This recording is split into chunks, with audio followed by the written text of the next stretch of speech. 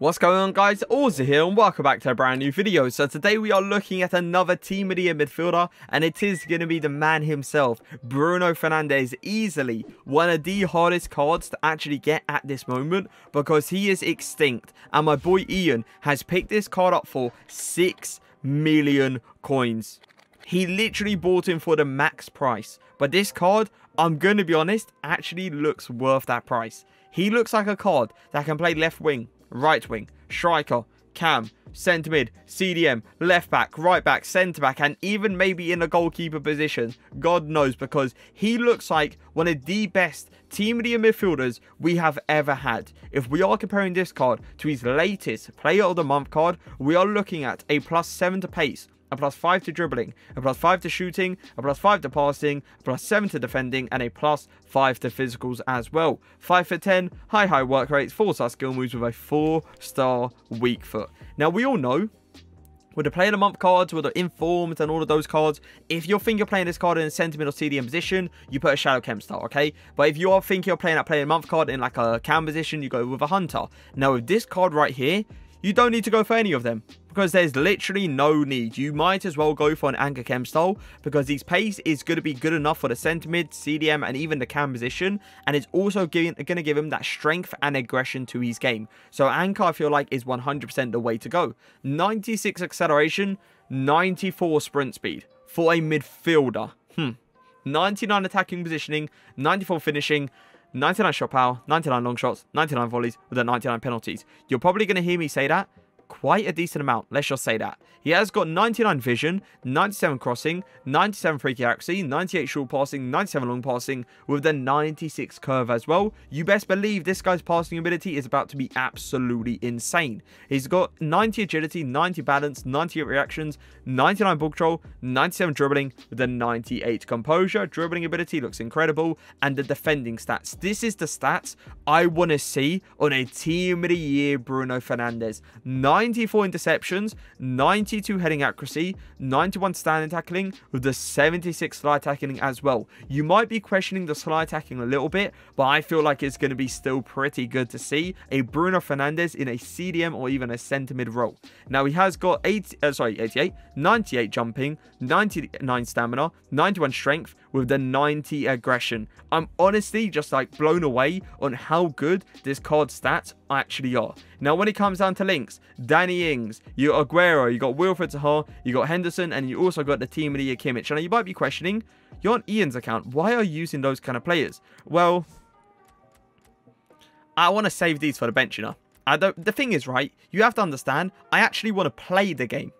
If I go in with any of these players into rivals, and they see a Ronaldo, an Mbappe, a Lewandowski, a Bruno Fernandes, and a Kimmich, they're rage quitting they're not going to stay in the game. So I actually want to test Bruno Fernandes out. So I kind of want to, you know, put like not the greatest players in there so they actually stay in the game. But either way, Bruno Fernandes will be playing in a 4-2-3-1 in the cam position. But I am going to try him in a centre mid and CDM position in a 4-2-3-1 and in a 4-4-2. But let's get into the games.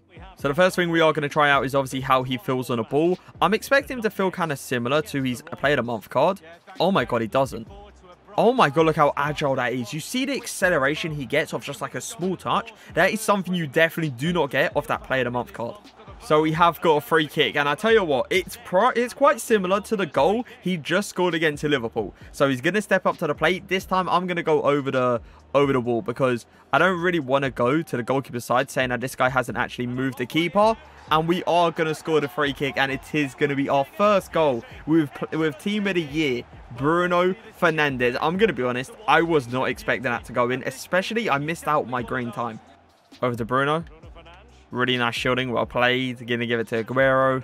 Give it back to Bruno. Give it to Ings. Give it back to Bruno. Nah, the guy actually goes and presses me there. I want those goals. I really do. see if I can send him on a run.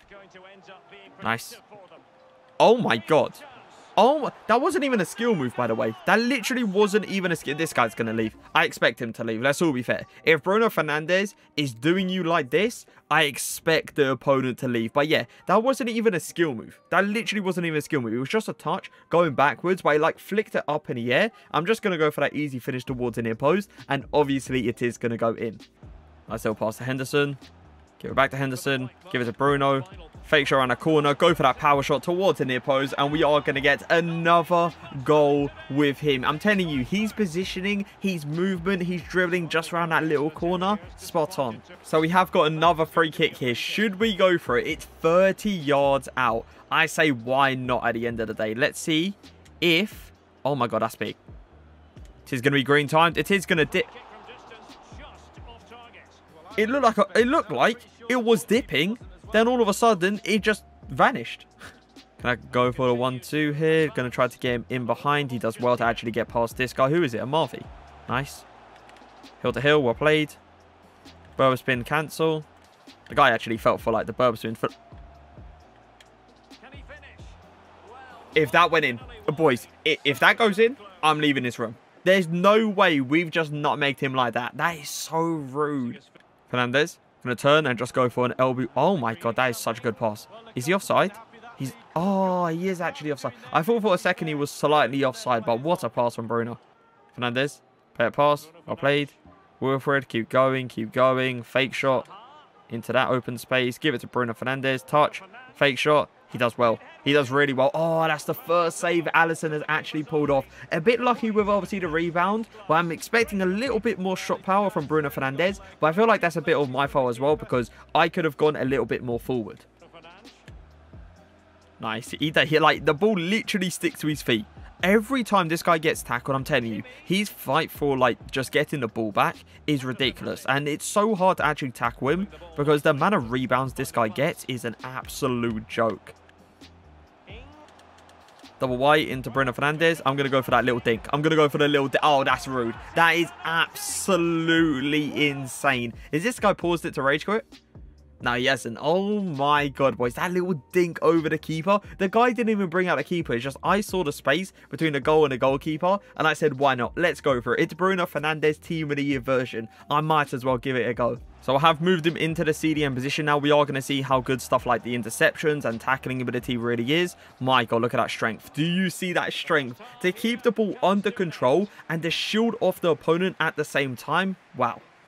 Give it to Bruno because what I can do with him playing in that CDM position is just that right there. If I can do that with a CDM, it's going to be so effective because imagine if there's no left back or even right back if I'm doing on the other side. Right there. Imagine. I'm in. I'm literally through on goal and we could get an easy goal out of it. Ings to Bruno. To Aguero. Back to Bruno. Little flick up. Flick it over you. Going to go for that volley towards the near post. He's done well. He's done very, very well. Because we all know, with the amount of shot power Bruno Fernandes has, that's going to go in. Fernandes straight onto him. Well played. Really good tackle. Give him the ball back. Let's run forward a little bit with him. Pass it to Aguero. He just not... Is he going to go back into the open space? He is going to go back into the open space. Well played. Kimmich. Fernandes. Should we go for a quick one too? Why not? Give him a there. Power shot. Oh my god. I expected him, by the way, to hit that with his right foot. I thought it was going to come across him and then he was just going to smack it across. The fact that he hit that with his left foot and it looked like it was going to go in, it kind of shook me a little bit because if that went in with that much shot power, yeah. Bruno. Is he going to continue going forward? I'm going to give him a challenge when it comes down to the pace. Why not at the end of the day? Look at Bruno Fernandes. That's against, I believe it is, Player of the Month Haaland. And Bruno Fernandes with the pace, with the aggression, and even with the strength, he is getting in front of Haaland. Give it to Gomez. Give it to Bruno. Flick that over my head. Go for an LBY all the way to the other side if you don't think that's broken, I don't really know what to say to you anymore because that is absolutely ridiculous. The fact that he can do that on a volley, my God. Fernandes, once again, look at this challenge when it comes down to the pace. Haaland, mate, you might as well not try. You might as well not try. Do you see that pace coming into play? That's what I mean. You don't need a Shadow Chem style. You don't need whatever Hunter Chem style, whatever. No, you just need an Anchor Chem style. The pace is already insane. So it is time to review him. Three games played, four goals scored, and I also believe we got the two assists, but I'm not 100%. Either way, this card is an absolute monster. He plays the cam position so perfectly, the centre mid position so perfectly, and the CDM position, I wouldn't say so perfectly because there is some odd occasions where you will see a Bruno Fernandes run into like the open space or make a run out of nowhere, and that is obviously going to leave that little space in behind, and you know, you might get counter-attacked on an odd occasion, okay? That Let's just say that. But Bruno Fernandes, outrageous player. Six million coins. Boys, I thought, personally, I thought no team of the midfielder was going to go for 4 mil plus. And I'm looking at Bruno Fernandes on my screen go for 6 mil, and he's extinct. But it's kind of understandable because if players like, you know, uh, Prime R9, if players like Mid R9, players like Prime Gullit, Mid Gullit, are going for so much amount of coins, why would a team of Bruno Fernandes not go for a similar price? You know? Why wouldn't they go for that much? So Bruno Fernandes, 6 million coins, I'm actually going to say it's worth it. And a lot of people are going to be surprised, but he's a serious, serious card that a lot of people will never see in their account. Like, straight up. A lot of people will never even have 6 million coins. Not e Imagine 6 million coins for one player. That's just on a whole new level. Pace. I'm going to give his pace, I would say, a 9.6 to a 9.7 out of 10. Absolute joke when it comes down to how fast this guy is. Transition speed, incredible. Running with the ball, incredible. But I have seen faster, so that is why he's not going to get a 10 out of 10. Shooting ability. His shots inside the box was... they were powerful. They were very, very powerful. But I'm not going to give him a 10 out of 10 for shooting because if I give him a 10 out of 10 for shooting, I'm comparing Bruno Fernandes' shooting ability to like a CR7's. And I saw CR7 shooting ability, and trust me, it is better than Bruno's. So for shooting, I'm going to give him, I would say like a 9.8 out of 10. Passing ability, I gave, I believe I gave his player of the month card a 10 out of 10. You best believe his team of the year card's going to have a 10 out of 10. You saw what was happening when it came down to his uh, passing. I was flicking the ball up and just going for these random LBYs and they were working every single time. Dribbling ability, I felt um, like he felt amazing on the ball. And the way I was left stick dribbling, the R1 dribbling with him, oh my god. So for dribbling, I am going to give him, I would say a 9 point I'd probably say like a 9.6 to a 9.7 out of 10, honestly. Defending, I felt like he did put in a very good tackle. I didn't actually try out his slide tackles because there was not any occasions to actually try him eh, try it out in, but it is what it is. The defensive awareness, by the way, was the one thing I saw that was massively, massively improved on this card compared to the player of the month. Like I noticed on the player of the month, there would be the odd occasion where he would allow a player in behind him or anything like that, or he would be caught slacking in a little bit, but this card, onto it every single time. He's he's literally focused every time. He's making sure he's reading those, those lanes. He's making sure he's man marking someone every single time. So for defending, I am going to give him, I would honestly say, like a 9.2 to a 9.3 out of 10. Top tier. Physicals, great strength, like unbelievable strength, for great aggression, unbelievable stamina, great jumping.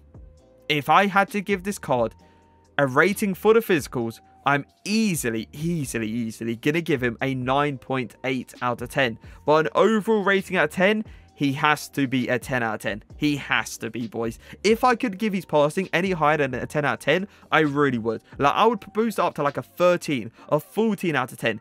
Easily, by the way, one of the best passes I've ever used in FIFA. It's an absolute joke how good this card is. And if somehow, some way, you manage to get this guy in your team, you're honestly blessed. It's simple as that. But I hope you guys did enjoy the video. If you did, make sure to leave a like, make sure to leave a comment. But for now, peace.